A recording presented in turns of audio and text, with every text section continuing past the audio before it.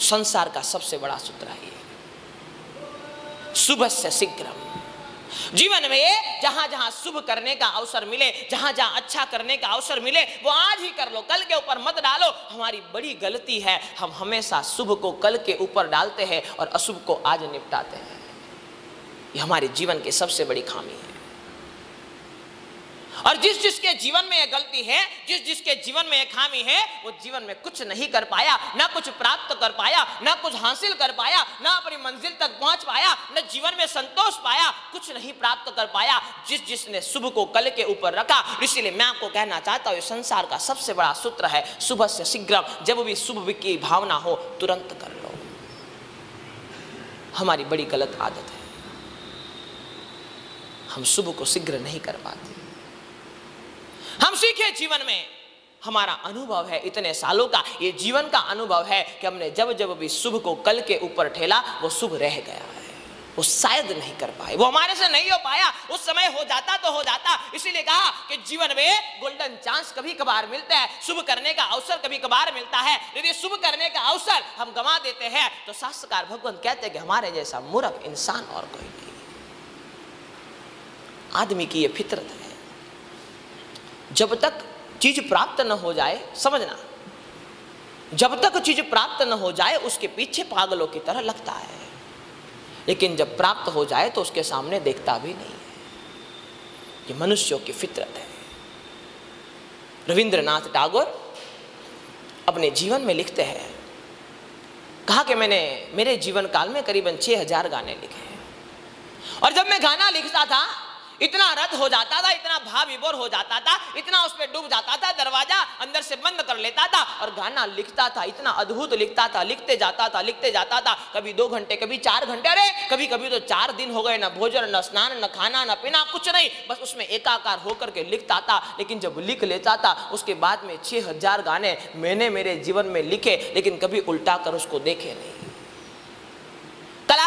मूर्ति बनाता है तो उतने, उतना डूब जाता है, उतना एक मय हो जाता है, उतना रसमय हो जाता है, इतना उसमें एकाकार हो जाता है, लेकिन उसके बाद में वो उठा करके उसको देखता तक ये मनुष्यों की फितरत है। जब प्राप्ति करनी हो, तब इतना पुरुषार्थ करते, इतना भागते, इतना दौड़ते हैं, लेकिन अंततः जब प्राप्त हो जाए, उसके बाद में उसके सामने देखते तक आप एक घर बना रहे हो। आप एक मकान बना रहे हो। हर एक चीज़ आपने सोच सोच के लगाई है। यहाँ ऐसा अच्छा लगेगा, यहाँ ऐसा अच्छा लगेगा, यहाँ ये उपयोग में आएगा, यहाँ इस तरह से होगा, यहाँ इस तरह से होगा। लेकिन जिस दिन घर बन के आपके हाथ में आ जाए, प्राप्ति हो जाए, उसके बाद में आपको देखने तक का मन नहीं होता। ये मनुष्य की फितरत है, लेकिन मैं आपको कहना चाहता हूँ कि रचनाकार गीत न देखे, उसमें उसका कोई नुकसान नहीं है। कलाकार मूर्ति न देखे, उसमें उसका कोई नुकसान नहीं है। हम घर बनाने के बाद में घर को न देखे, उसमें हमारा कोई नुकसान नहीं है, लेकिन जीवन में समय को न देखे, इससे बड़ा नुकसान और कोई नहीं हो सकता। हम जीवन भर यही रोना रोते हैं। और जब मौत अंततः सामने आती है, तब हमें अफसोस होता है, पछतावा होता है कि जीवन भर कुछ नहीं कर पाए। इतना अद्भुत जीवन मिला, इतना अद्भुत जीवन प्राप्त हुआ, हम कुछ नहीं कर पाए, पछतावा करते हैं। आपको पता नहीं है, मनुष्य जन्म की प्राप्ति के लिए आपने कितना पुरुषार्थ किया, आप नहीं जानते। कितनी मेहनत करी, कितनी मशक्कत करी। कितना पुरुषार्थ किया, आप नहीं जानते, आप भूल गए, आपको याद नहीं है, आपकी याददाश्त कमज़ोर है। इसलिए हमारे यहाँ पे जाति स्मरण ज्ञान बताया गया कि जब कोई विशिष्ट ज्ञान का उदय हमारे जीवन में होता है तो जाति स्मरण ज्ञान उत्पन्न होता है और जिस कक्षा का जाति स्मरण ज्ञान उत्पन्न हुआ हो, उस कक्षा तक हमें पिछले भवों का ज्ञान हो जाता है। का हमने बड़ी मेहनत करी यहाँ पहुँचने के लिए। बड़ा पुरुषार्थ किया यहाँ पहुँचने के लिए, बड़ी मशक्कत करी यहाँ पहुँचने के लिए, लेकिन यहाँ आते आते, हम भूल गए और वापस वही सब कामों में, तुच्छ कामों में लग गए। वही हमारा जीवन समाप्त होने जा रहा है, वही हमारा समय पसार हो रहा है, समय निकल रहा है और जीवन की जब अंतिम घड़ी आती है तो हम क्या करते हैं? क्या करते हैं? पछतावा करते हैं कि जीवन में कुछ नहीं कर पाए। फिर हमारी अनंत की यात्रा शुरू होगी। क्योंकि जीवन में कुछ किया नहीं तो जाएँगे कहाँ? कोई दुर्गति में, कोई अलग अलग गतियों में, कोई छोटी मोटी गतियों में। हमारा जन्म होगा, वहाँ से हमारी अनंत की यात्रा शुरू होगी। वापिस हम भांगेंगे कि मनुष्य जन्म प्राप्त कर रहा है, मनुष्य जन्म प्राप्त करना है, जीवन में कुछ हासिल करना है, मोक्ष मार्ग पर जाना है, सदगति को प्राप्त करना है, जीवन को जानना है, जागना है, उसके लिए हम भागते रहेंगे। अनेक जन्मों की आराधना के बाद, अनेक जन्मों की साधना के बाद, अनेक जन्मों की यात्रा के बाद हम पुनः मनुष्य जन्म तक पहुँचेंगे। लेकिन तकलीफ़ यह है वहाँ पहुँचते पहुँचते वापस भूल जाएँगे कि हम कितना घूम के है। और इसीलिए तो शास्त्रदार भगवंत ने लिखा कि मनुष्य जन्म पहली बार थोड़ी ना मिला आपको। मनुष्य जन्म पहली बार मिला है। कहते, अनेकों बार मिल गया। अरे कहते दीक्षा भी आपने अनेकों बार ले ली, श्रावक भी आप अनेकों बार बन गए, परमात्मा के दर्शन भी अनेकों बार कर लिए, परमात्मा की भक्ति भी अनेकों बार कर ली। अरे, यहाँ तक कहते हैं कि आपने देव बन के परमात्मा का शायद स्पर्श भी किया हो, ऐसा भी हो सकता है, लेकिन हम सब भूल जाते हैं और वापिस वही यात्रा हमारी शुरू होती है इसलिए मैं आपको कहना चाहता हूँ, समझ लेना सुबह से शीघ्र पुराणों में एक कहानी आती है। ययाति नाम का एक राजा था। सौ उसके पुत्र थे। सौ साल का उसका आयुष्य था। अनेकों रानियाँ थी, बड़ा राज परिवार संपन्न परिवार था। और जब उसके सौ साल जीवन के पूरे हुए तो यमदूत उसको लेने के लिए आए। और कहा कि अब जाने का समय हो गया है। कहानियों में तो यमदूत भी आते हैं और जाने का समय भी बताते हैं। लेकिन हमारे जीवन में न यमदूत आते हैं, न जाने का समय बताते हैं, सीधा बुलावा आ जाता है। कहा कि ययाति, जाने का समय हो गया। अरे, कहा, क्या बात कर रहे हो? कहाँ जाना? कहा आपका मौत आ गया? आपका यमदूत हूँ मैं। लेने के लिए आया हूँ, आपको लेकर के जाऊँगा। ययाति ने दो हाथ जोड़ लिए कि अरे, क्या बात करे मैंने जीवन में कुछ किया ही नहीं।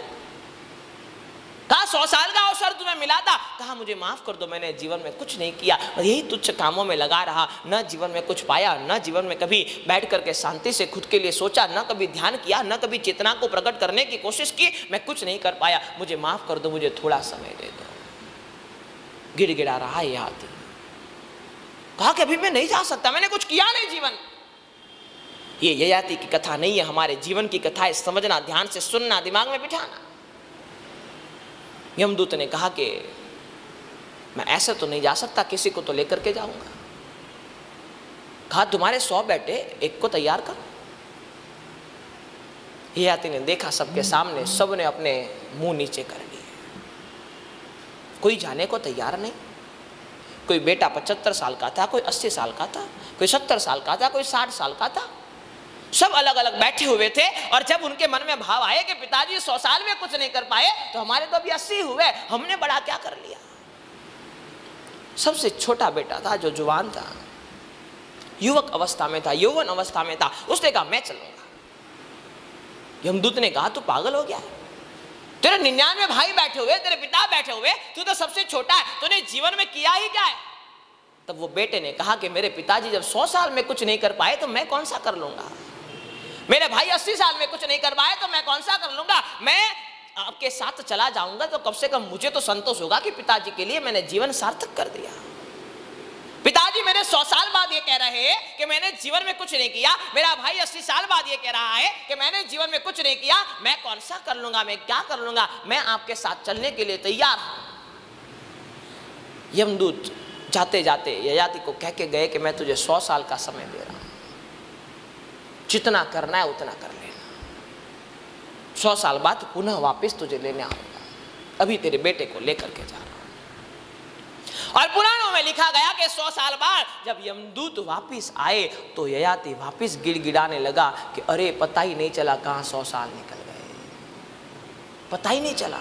भगवान मुझे माफ़ कर दे, पता ही नहीं चला। कहाँ सौ साल में वापिस वही काम में? मुझे लगता था सौ साल बड़ा लंबा पीरियड है, बड़ा लंबा समय है, बहुत कुछ मैं कर लूँगा, लेकिन सौ साल हो गए, मैं जान नहीं पाया, मैं झाग नहीं पाया। भगवान, मुझे माफ़ कर दे, थोड़ा और समय दे दे। देखना हमारी फितरत क्या, हम यही करते हैं। ययाति की कथा नहीं हमारे जीवन की कथा है, हमारे, मेरे, आपके, सबके, खुद के जीवन की कथा है। हम जीवन भर यही करते रहते हैं, जब मृत्यु समय आता है, तभी तो जागते उसके पहले कहाँ जागते हैं?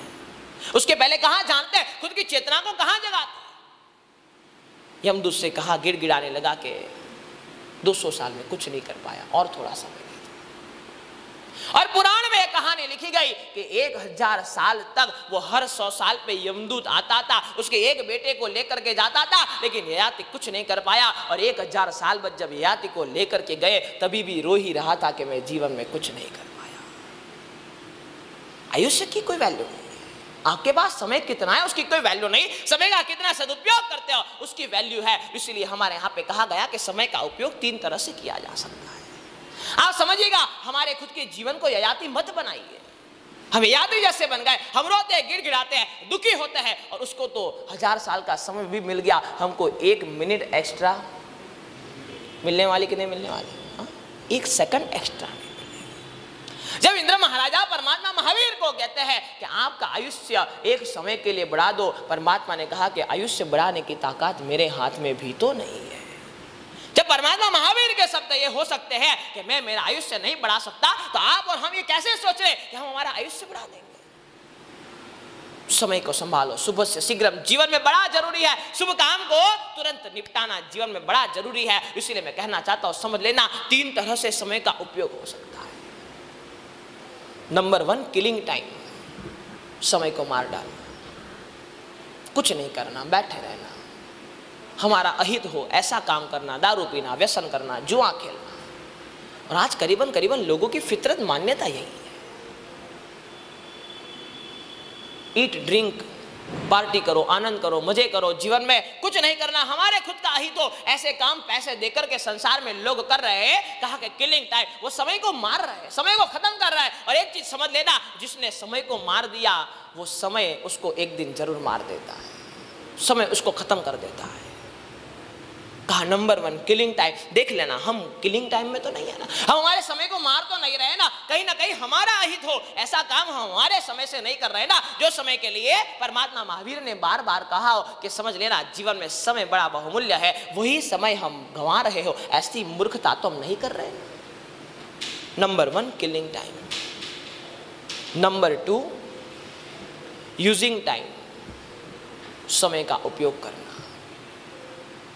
Tu sais, न प्रॉफिट न लॉस आपने नुकसान हो ऐसा तो नहीं किया कुछ लेकिन समय का उपयोग कर लिया, दो घंटा टीवी देख लिया, दो घंटा किसी के साथ बातें कर ली, दो घंटा जीवन का कहीं टहलने, घूमने में निकाल दिया, जहाँ से आपको कुछ प्राप्त नहीं हुआ, जहाँ से आपको कुछ पाना नहीं है, उसका उपयोग आपने कर लिया, बस समय को यूज़ कर लिया, समय को पूरा करना था। अरे, आपको पता है, जहाँ परमात्मा महावीर ने यह कहा है कि एक क्षण भी हमारे जीवन के लिए बहुमूल्य है, एक भी क्षण हमें गंवानी नहीं है, तब आज के समय में लोग सोचते महाराज साहब, समय नहीं कटता है। समय नहीं निकलता है। क्या करें? क्योंकि आपके पास दिशा नहीं है, आपके पास ज्ञान नहीं है, आपके पास कोई लक्ष्य नहीं है, आपके पास भागने की कला नहीं है, आपको रास्ते का पता नहीं, आपने जीवन में किसी का मार्गदर्शन लिया नहीं है, इसलिए जीवन भर आप यही सोचते रहते हो, समय कहाँ निकाले? जो समझदार इंसान है, वो ये सोचता है कि समय का उपयोग कैसे करें और जो ना समझ इंसान ये सोचता है कि समय कहाँ निकाल, कहाँ पूरा हो, कब जीवन खत्म हो, ये सोचने वाले भी लोग संसार में कम नहीं है। इसलिए मैं कहना चाहता हूँ number one killing time number two using time समय का यूज़ कर ले। लेकिन कहा तीसरा महत्वपूर्ण है और तीसरे नंबर में कहा परचेसिंग टाइम आप समय से कुछ पाते हो परचेस करते हो। समय आपकी मूड़ी है। जिस तरह से धन से बाज़ार में जाकर के आप कुछ परचेस कर पाते हो, कुछ खरीद पाते हो, कुछ प्राप्त कर पाते हो, शास्त्रकार भगवान कहते हैं, समय तुम्हारे जीवन का सबसे बड़ा धन है। मैं तो कई बार कहता हूँ कि जो धन के पीछे आप अपना समय गंवा रहे वो बड़ा तुच्छ है। किसी को भी प्राप्त हो सकता संसार में उसमें कोई बड़ी चीज़ नहीं है।